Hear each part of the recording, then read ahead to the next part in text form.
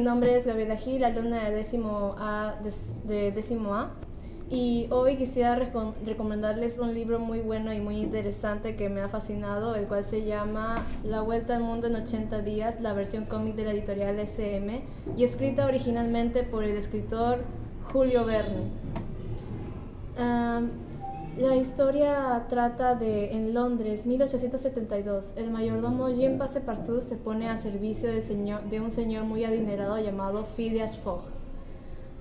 Phileas Fogg pertenece a un club de caballeros en el cual, en un momento de discusiones, él apuesta que puede dar la vuelta al mundo en 80 días. Y al ser un hombre tan preciso, él jura que lo puede hacer y apuesta toda su fortuna en ello.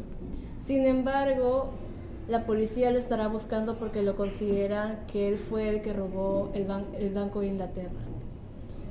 La Vuelta al Mundo en 80 días es la novela más popular de Julio Verne.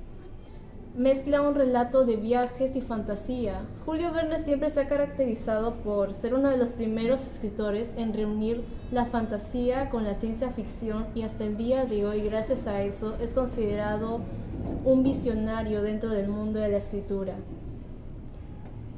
Eh, les recomiendo más que nada el cómic porque puede resumir muy bien la historia, tiene partes muy divertidas que no se pueden lograr simplemente leyendo el libro y es un poco más entretenido de esta forma.